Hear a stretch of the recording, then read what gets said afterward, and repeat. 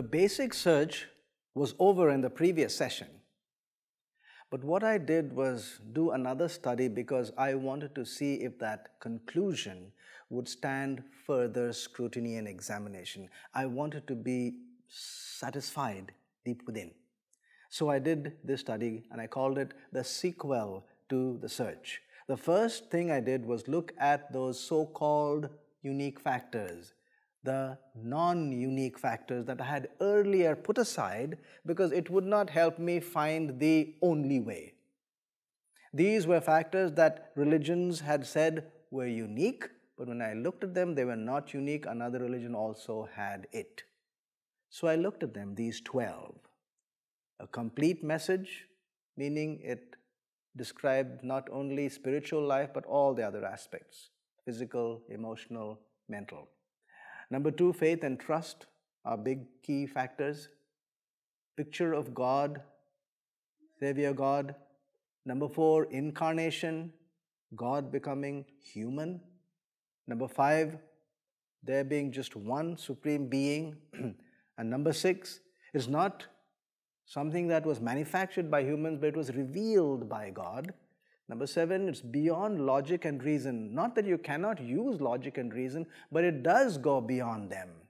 Eight experiences are essential keys to really understanding the message. Number nine, all the descriptions of that goal are incredibly fantastic. I mean, the descriptions are so wonderful.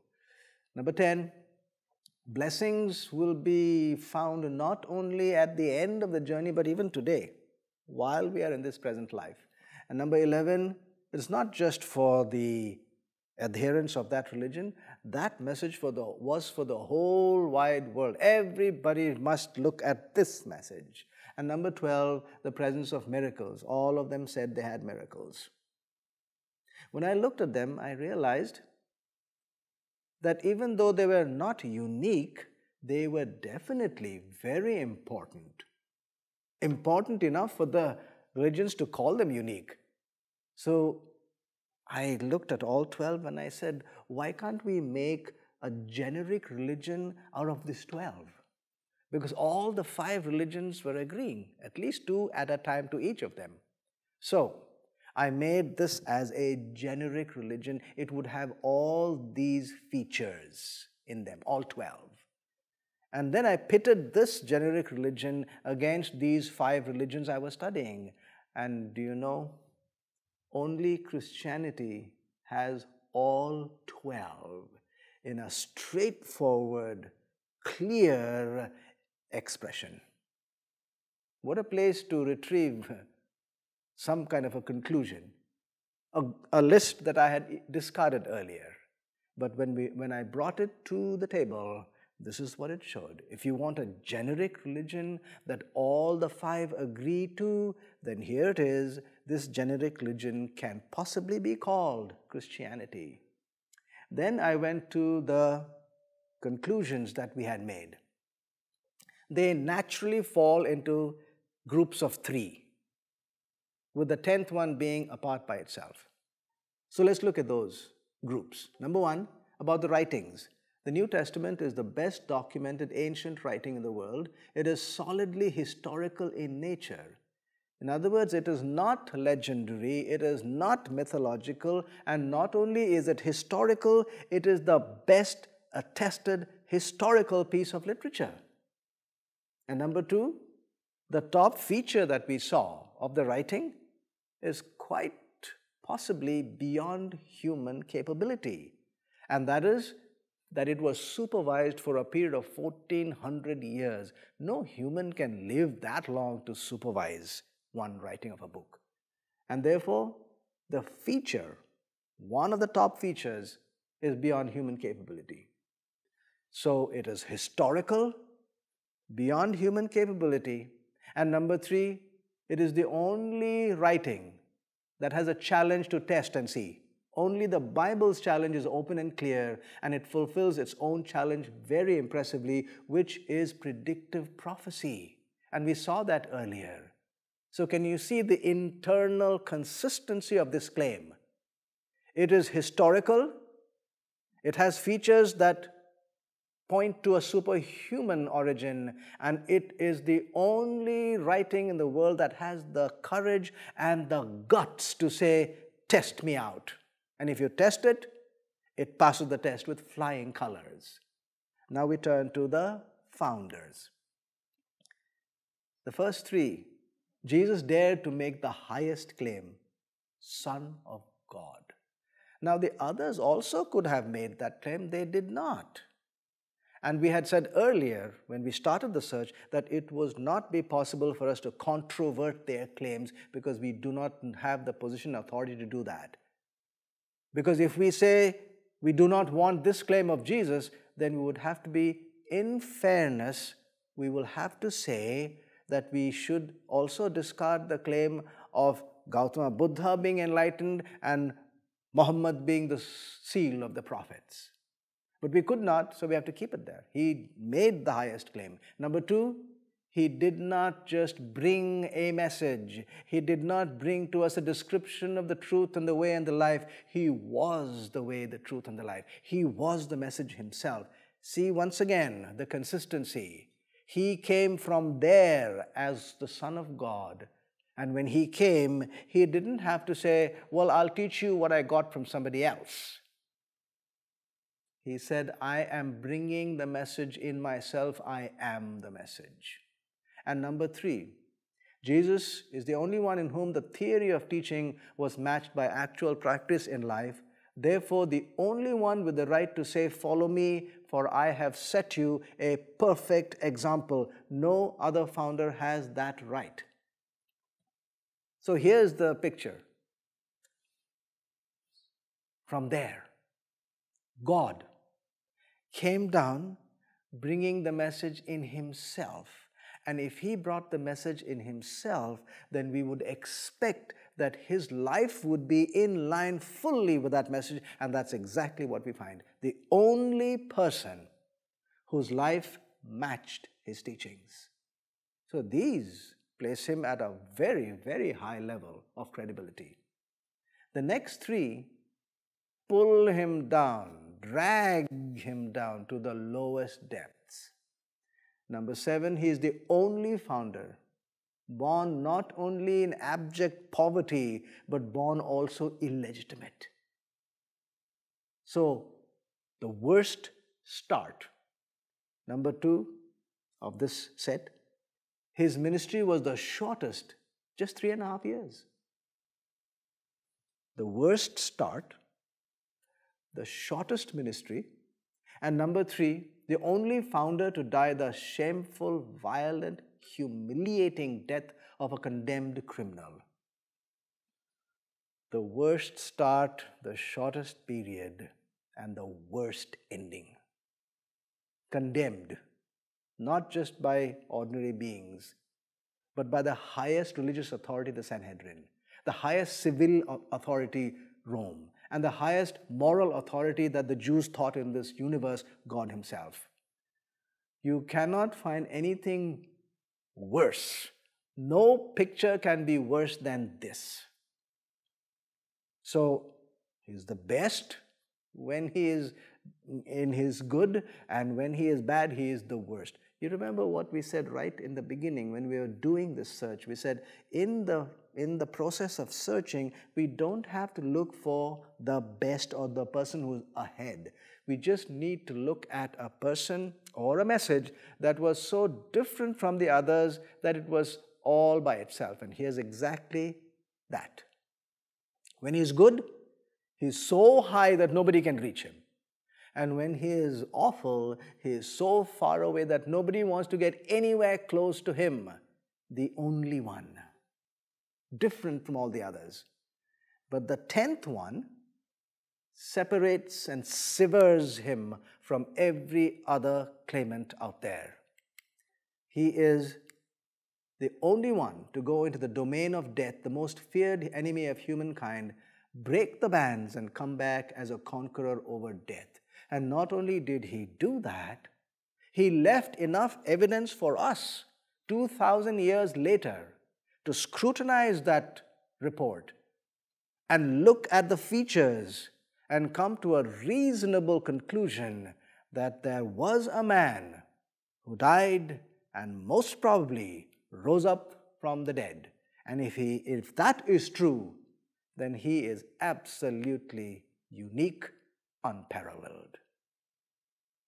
Now I went to then the book. This was And the Man, and this was earlier a comparison. What would happen if we don't compare, basically, don't compare, but look at the features? Here's a statement by Carnegie Simpson Jesus is not one of the group of the world's great. Talk of Alexander the Great and Charles the Great and Napoleon the Great, if you will. Jesus is a part. He is not the great, He is the only. Wow. Really? The only? Well, if you look at his life and gather some features, I believe we could make a reasonable conclusion that that statement is true. Let's look at seven features. Number one, his unique entrance into history. His mother conceived him while she was yet a virgin. He had no paternal father. The virgin conception and birth of Christ is utterly unique in human history. The fact really is that the people called him illegitimate. Why did they do that? Because the mother was identified, the father was not. That could be a pointer that the father was somebody else whom nobody had met or seen. And in that instance, we could say that the story maybe is true. His father was the Son of God. He's not a human. That is why they called him illegitimate.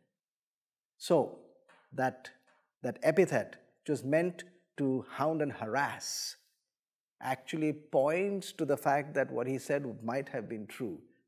So he was conceived by a virgin. Not only was this event so unique, the fact it was prophesied.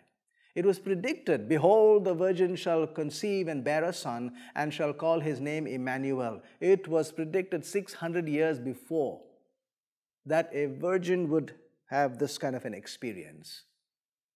Amazing. And the name Emmanuel means God with us.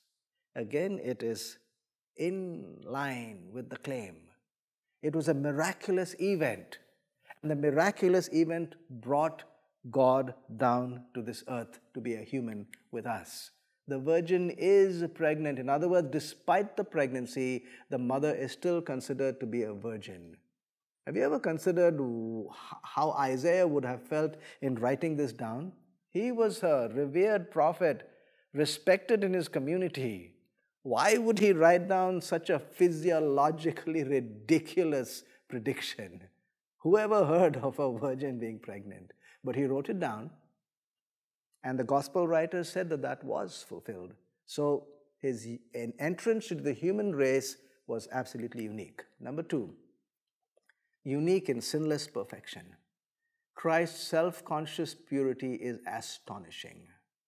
Nobody I know can look into his mind and come up with a clean slate from his conscience.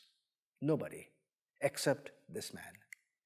He and he alone carried the spotless purity of childhood untarnished through his youth and manhood.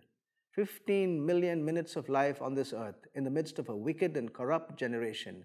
Every thought, every deed, every purpose, every work, privately and publicly, from the time he opened his baby eyes until he expired on the cross, were all approved of God. Never once did our Lord have to confess any sin, for he had no sin an amazing testimony.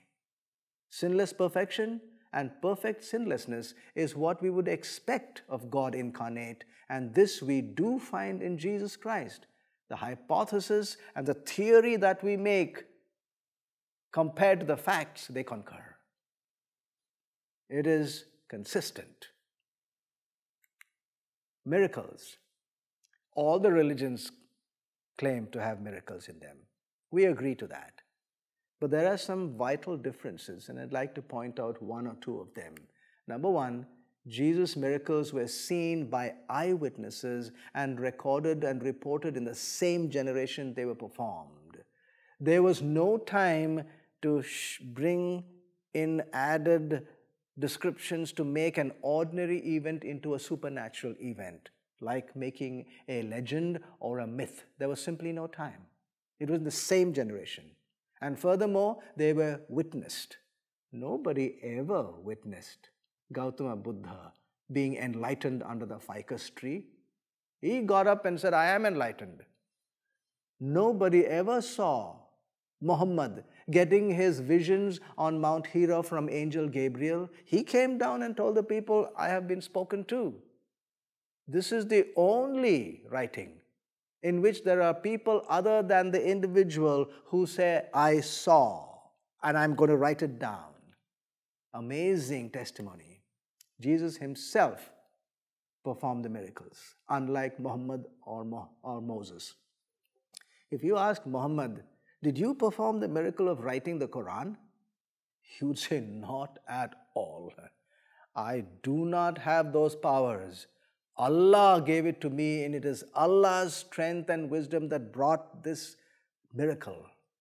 Moses, we see him standing before the Red Sea as if he parted the Red Sea. But what were his words? Stand still and see what God does. Every other founder claimed that there were miracles, but all of them were performed by another source. This is the only man who said, I am also a part of that source. He could look at the paralytic who he would heal and he would say, I am forgiving your sin. He was a part of the source of the miracle. He could look at the corpse, dead body, and say, I am saying, rise up. Deal with the demons. I am telling you, okay, you have the permission to go. These differences clearly show that his claim was unique. Miracles are believed in non Christian religions because the religion is already believed. But in the biblical religion, miracles are a part of the means of establishing the true religion. This distinction is of immense importance. It was the miracle authenticating the religion at every point. And if that was the case, then we would have to agree that the miracle was not just hearsay, it was not just a vague report. It would have to authenticate the belief. And so we deduce that those miracles were real. Greatest words. After reading the doctrines of Plato and Socrates or Aristotle, we feel the specific difference between their words and Christ's is the difference between an inquiry and a revelation. There were people who were asked to arrest Jesus one time, and the guards went there. And they came back without arresting him. And so the rulers said, Why didn't you arrest him? We sent you to get him. They said, Wow, nobody speaks words like he, and therefore we could not bring ourselves to arrest him. He speaks words that are different, full of power. Look at his own words, Jesus' own words. This is what he said Heaven and earth shall pass away, but my words shall not pass away. Wow. Never did the speaker seem to stand more utterly alone than when he uttered this majestic utterance. Never did it seem more improbable that it should be fulfilled. But as we look across the centuries, we see how it has been realized they have never passed away. What human teacher ever dared to claim an eternity for his words? Lasting influence. The ministry of Jesus, lasting only three years, and yet, in these three years is condensed the deepest meaning of the history of religion. No great life after its close excited such universal and lasting interest. As the centuries pass, the evidence is accumulating that, measured by his effect on history, Jesus is the most influential life ever lived on this planet. Number six, he addressed deep need he was not interested in the flashy stuff so that people would flock to him and praise him and lift him higher up and admire him. No, he searched for those who had needs. And when he was confronted with their needs, he did his best to address their needs. Consider his words. If any thirsts, let him come to me and drink. Come to me, all you who labor and are heavy laden, and I will give you rest. Think and consider, my friends, what can be more basic to our lives than thirst and tiredness? These are the things he addressed. He addressed the naked heart of man and touched the quick of the conscience. And then, number seven, which we already saw earlier, he conquered death itself. When he said that he himself would rise again from the dead, he said something that only a fool would dare say. No founder of any religion known to men ever dared to say a thing like that. We may safely assume that there never was, before or since, such a proposal made.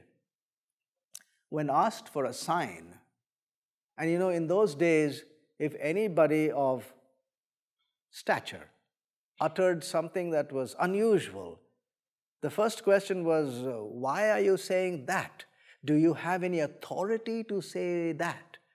And they asked Jesus when he did his miracles and when he made his teachings known, they said, What is your authority? And he pointed to this sign as his simple and sufficient credential. And what was the sign? You kill me, I will rise up the third day. What an unusual sign of an authority. He who was ready to come to stake everything on his ability to come back from the tomb stands before us as the most original of all teachers. Amazing man. So is he the only? I think we've made a case. His unique entrance into history, unique sinless perfection, he himself performed the miracles, he spoke some of the greatest words ever spoken, and his influence is the most lasting. And he was not running after the flashy stuff, he was going to address the deep needs that you and I have.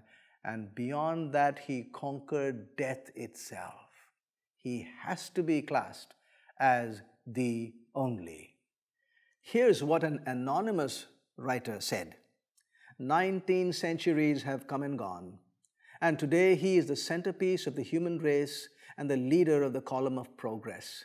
I am far within the mark when I say that all the armies that ever marched, all the navies ever built, all the parliaments that ever sat, and all the kings that ever reigned put together have not affected the life of man upon this earth as powerfully as has that one solitary life. Unique? Yes, Jesus, the only. And now we turn to the book. Is it really unique? And once again, we look at the features that this book has. And we will look at seven of them to see if this book is really unique. Number one, the way it was written, amazingly. In different generations, with different authors and circumstances, times and moods, literary styles, in different continents and languages. We'll look at each of those. Different generations. The first author was Moses, way back in 1400 BC. The last was probably John, about 100 AD or the 90s generations covering 1400 years. Definitely different generations. Different authors, more than 40 of them, with differing backgrounds. Moses was educated, he was a judge, he was a leader. Joshua was a military general. David was a shepherd, a poet, a musician, and a king. Daniel was a prime minister. Amos, a herdsman, Luke was a physician and historian, Matthew, a tax collector, Peter, a fisherman, Paul, a Jewish rabbi, and Mark, a personal attendant. They wrote in different circumstances. Moses, while traveling at the head of nomads, the bunch of slaves are coming out of Egypt. Jeremiah, while punished in a dungeon. Daniel, peaceful at home and also in a palace. Paul, in various towns, free as well as imprisoned. David as a fugitive and also as a king, Luke on extensive travels, John in lonely exile, different times and moods, Moses as an undisputed leader, David as an outlaw as well as a king. Solomon in prosperity and in utter dejection at the end of his life. Daniel, peaceful as well as perplexed. Some of the times when he wrote, he didn't know what he himself was writing. Jeremiah in deep grief and bitterness of spirit. Isaiah in solid conviction and hope. Luke in exactness and detail. Paul in sternness and tenderness like a father. Different literary styles storytelling, historical, poetry, romance, didactic, personal letters, biography, autobiography, code of law, prophetic, parables, symbols. What a spectrum. Different continents. It was written in Asia, some of it in Africa, and some of it in Europe.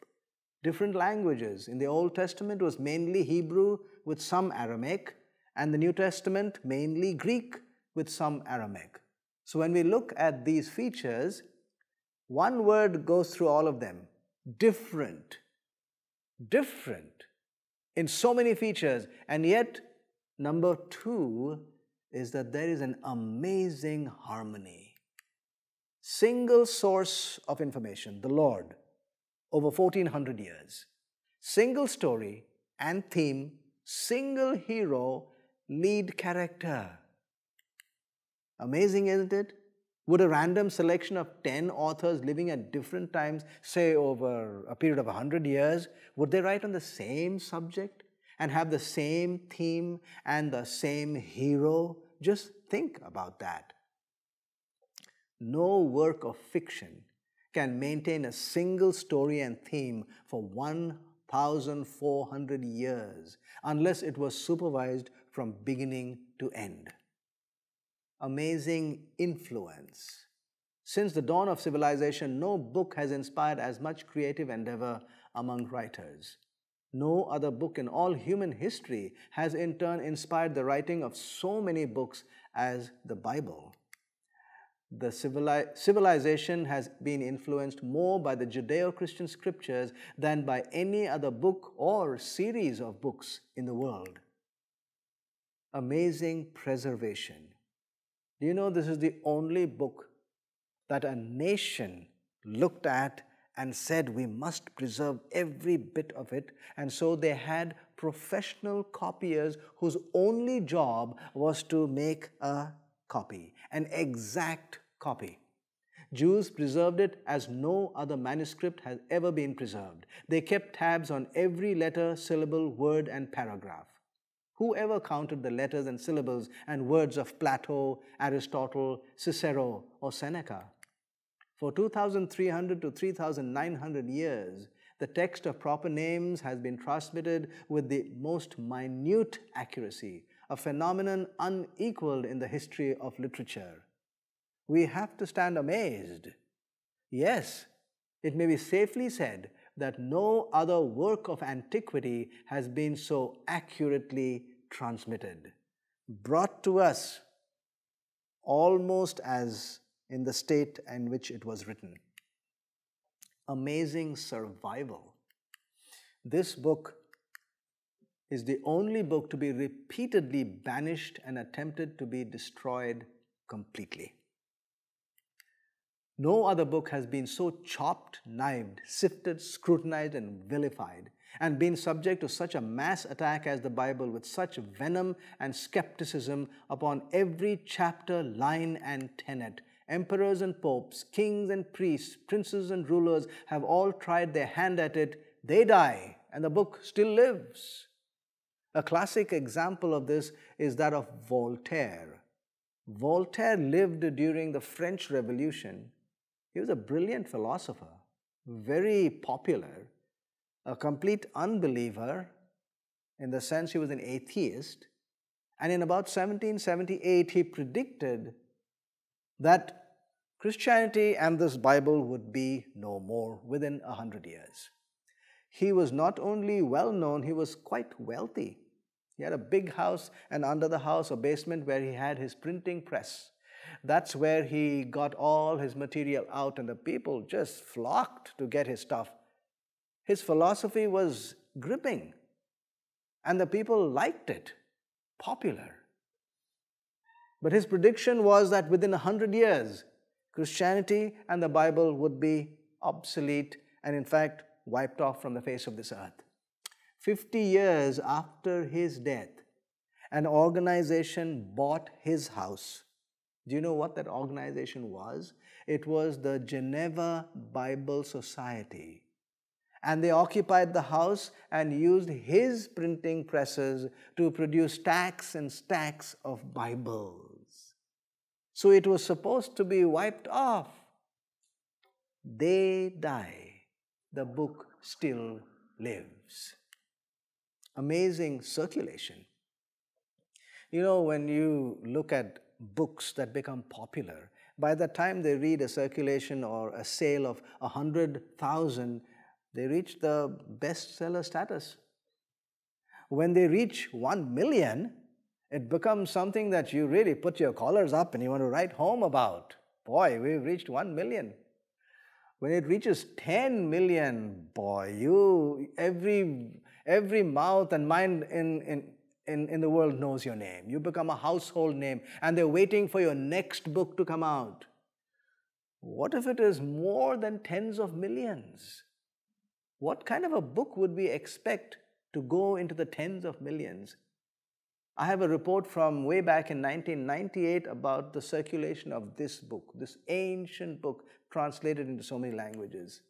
The United Bible Society Society's 1998 Scripture Distribution Report the total distribution of copies of the Bible or portions thereof in 1998 reaches a staggering 585 million. In one year, 585 million copies and portions spread out. What was inside there that made this such, such an impact on people? I'm not saying that this number keeps on going year after year, but that number is for one year that is truly amazing. Translation. Do you know that the Old Testament, which is part of the Bible, was the first major writing that was translated into another language in history? When the Jews went from Palestine to Alexandria in the northern part of uh, Africa, they forgot Hebrew.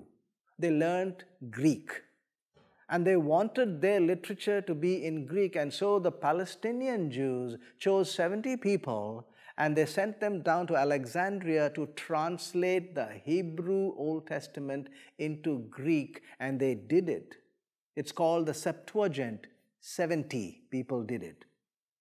But that was the first translation ever made of a major work in history. Today, it is the most translated book.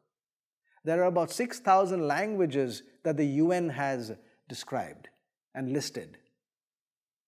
There are hundreds and thousands of them that have the Bible in that language. In fact, today the Wycliffe organization is working on 450 new translations today. And I'm sure many of them is complete. In other words, at this rate, we are less than a generation away from witnessing the world's first universally translated text. No other book in history comes close. Can you imagine a text, a writing being translated into every known language on earth? And is not some earthy thriller. It is not some flashy science fiction. It is an old book translated for today's people, what could be in it that grips so many people to do such a huge job as translating it into every known language?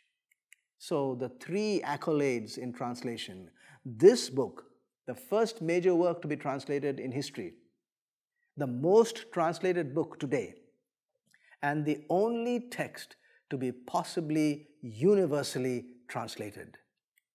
Look at the features amazingly written, amazing harmony, amazing influence, amazing preservation, survival, circulation, and translation. Surely, if you and I are fair, balanced inquirers, we would have to say that nothing else can equal this In other words, the conclusions regarding this man and this book have a credibility that is backed by clear and convincing evidence. Nothing in our existence can equal this. To make this as a stand is most reasonable. This man and this book must be considered unparalleled, unequaled in their credibility and in their force of strength to show us that they could possibly describe to us the only way.